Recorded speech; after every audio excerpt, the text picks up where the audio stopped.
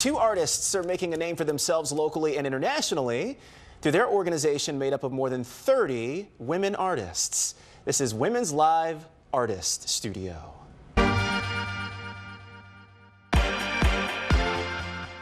We're a women-led artist-owned gallery. We live paint here.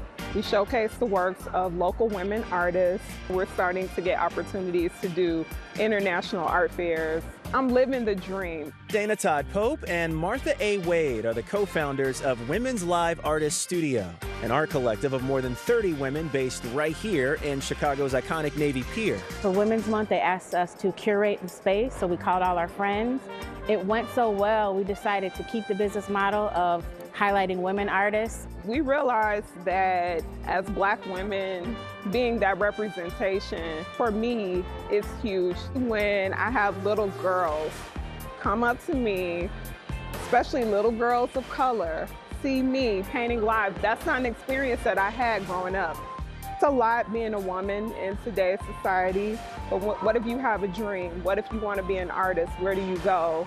And how do you build on that dream? So Women's Live Artist Studio is a place where they can come where we, we get it, we understand, and we help them build their art career. Oh, and so much more. You can see their story and more during the Black History Month special, Our Chicago History and Heritage, Saturday, February 24th, 6 p.m. on ABC7 or wherever you stream. Watch breaking news on YouTube. Subscribe to ABC7 Chicago Eyewitness News.